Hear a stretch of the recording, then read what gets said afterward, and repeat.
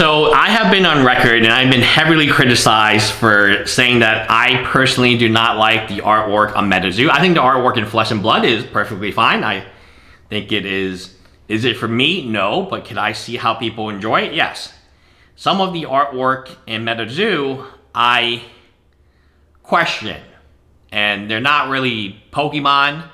They're not really creative in that way because Pokemon are based on Pokemons. They didn't exist before the MetaZoo is based on cryptid creatures like you know Bigfoot and the Mothman, and so there's some comparison there because I've seen other you know pretty crazy picture artwork of the Mothman, and obviously Bigfoot. There's that classic picture of him in the forest, right?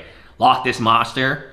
Again, these are animals because they're very popular, right? So it's not like they came up with Bigfoot or the pedigree of Bigfoot or the storytelling of Bigfoot or or Mothman, right? I saw a Mothman documentary on Amazon Prime. It was pretty good for an Amazon Prime documentary. But there, there's art, there's other artwork I've looked at before of Mothman, including an Amazon Prime documentary, which I think, wow, that's really good artwork. And then when I look at the MetaZoo of Mothman, I say, wow, huh. So I think what was most offensive about Gary VeeFriends uh, was a lot of the people didn't actually know these VeeFriends exist and they're NFTs and they sell for a lot of money. These VeeFriends have made Gary Vaynerchuk a lot of money. And they made the early adopters, his friends and families and the people. So this is why every YouTuber is going to jump on board because they know how much money he's made from the actual. So these cards are not NFTs. I hope people don't confuse this. These are cards of an NFT. Let me repeat this again. I think people are getting confused. This is even worse than you think it is.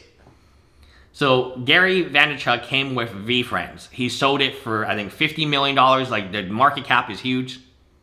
A lot of people, a lot of people, including Gary, obviously Gary Vaynerchuk made the most amount of money, and that is kind of you know it's kind of steady. It's not really making money. It's not really gaining money. It's just kind of holding.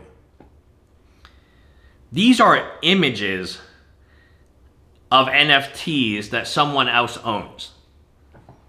My understanding of that. Maybe there are new images, maybe there are new things, but if you have the card, that physical card is not an NFT because it's not in your wallet. So it's even removed, it's one step removed.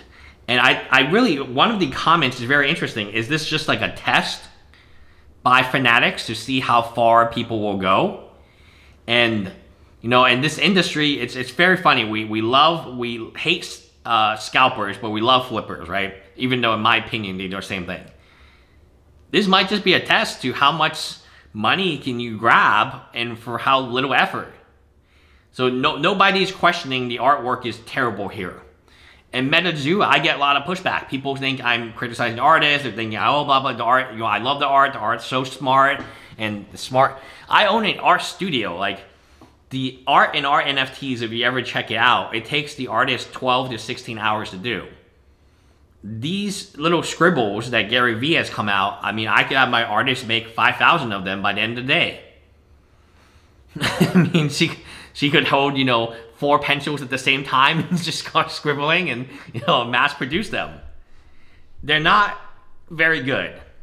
So like I get like art is subjective, but I think there's some point where we just all say, okay, this is not good art, or this person has not actually tried really hard to do this piece of drawing, and that's what's so offensive. And and the price tag, the price tag of over two thousand dollars for a box of eight of these cards that is just ridiculous. Like you have to understand, like people are not that stupid. Like there is a point in time where you ruined a hobby by manipulating and hyping and all this stuff. Am I do I think Fanatics will do a great job? Yeah, I think it will do a great job. I think this is kind of not the best item. But do, will every YouTuber go online and worship the Gary Vaynerchuk, the Gary VeeFriends? Yeah, they will, because there's money in it. It's always for these YouTubers. It's always about money. when Jeff made his NFT project, what was he hoping to do? He was hoping to make money from box opening, and you know, and that's crazy idea because you don't even own the card. Why would you buy the NFT? You can just buy the card.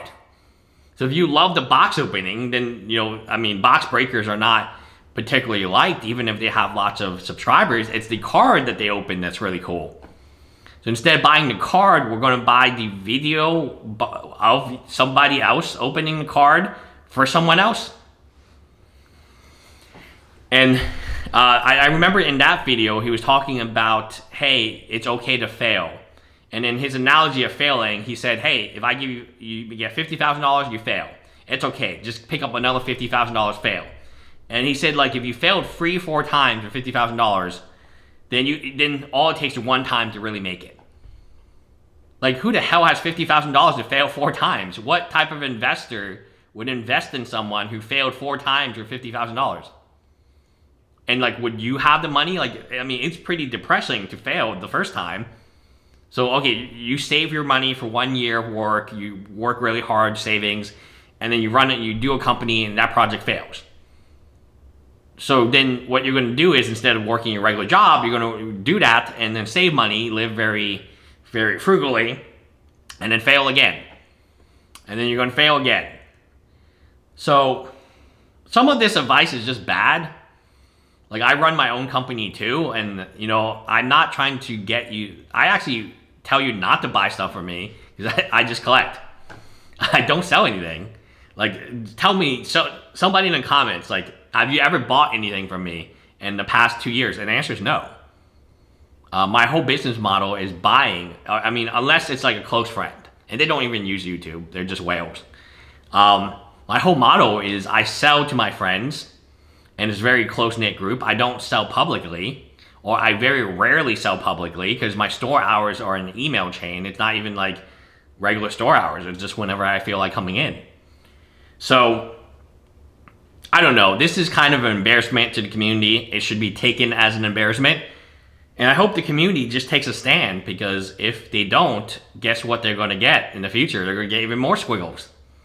Because, hey, this sold out. What if Fanatics like, wow, look how popular this is. Every YouTube channel was saying that they love it.